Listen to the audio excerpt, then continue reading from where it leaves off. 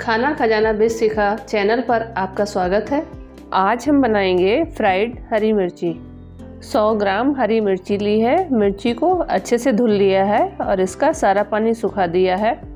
सबसे पहले मिर्ची में कट लगाएँगे। एक मिर्ची लेंगे। इसको इस तरीके से बीच से काट लेंगे। देखिए, मिर्ची को दोनों साइड में नहीं काटा है। सिर्फ़ एक ही साइड में इसको हल्का सा काटा है। दूसरी मिर्ची लेंगे, उसमें भी इस तरीके से कट लगा लेंगे। इसी तरीके से सारी मिर्ची को काट के तैयार कर लेंगे। सारी मिर्ची में इस तरीके से चीरा लगा के तैयार कर लिया है। मिर्ची फ्राई करने के लिए एक कढ़ाई में एक बड़े चम्मच सरसों का तेल डालेंगे। तेल को अच्छे से गर्म होने देंगे। अगर आप खाने में सरसों का तेल यूज़ नहीं करते हैं तो आप कोई भी कुकिंग ऑयल ले सकते हैं। तेल अच्छे से गर्म हो गया है। इसमें आधा छोटा चम्मच जीरा डालेंगे। जीरा को अच्छे से भुनने देंगे। आधा छोटा चम्मच कलौजी भी डाल देंगे।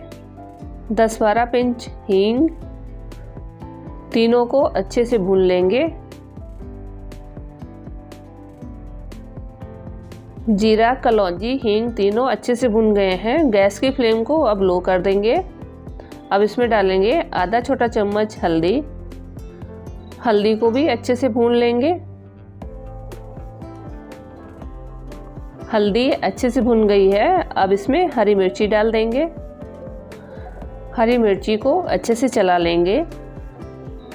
गैस की फ्लेम मीडियम कर देंगे। मीडियम फ्लेम पे ही मिर्ची को आधा मिनट तक फ्राई करेंगे। आधा मिनट हो गया है मिर्ची को फ्राई होते हुए। अब इसमें मसाले ऐड करेंगे। आधा छोटा चम्मच कश्मीरी लाल मिर्ची, एक छोटा चम्मच धनिया पाउडर, एक छोटा चम्मच कुटी हुई सौंफ, आधा छोटा चम्मच अमचूर पाउडर, स्वाद अनुसार नमक। सारे मसालों को अच्छे से मिक्स करेंगे। गैस की फ्लेम लो कर देंगे।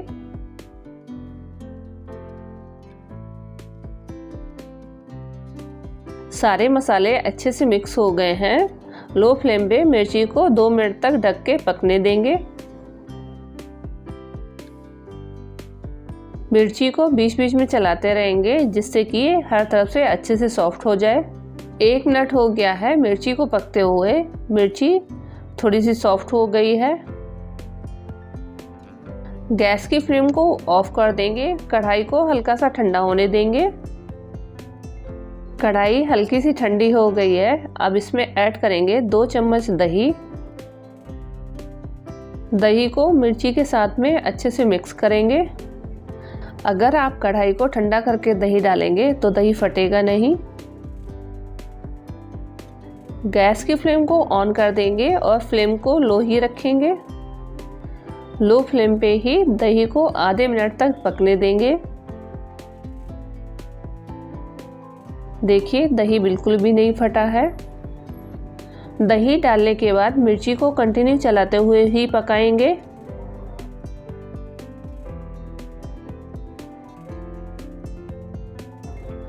आधा मिनट हो गया है दही को पकते हुए। दही भी अच्छे से पक गया है। गैस की फ्लेम को ऑफ़ कर देंगे। मिर्ची को कढ़ाई से बाहर निकाल लेंगे। देखिए कितनी अच्छी मिर्ची फ्राई बन के आई है।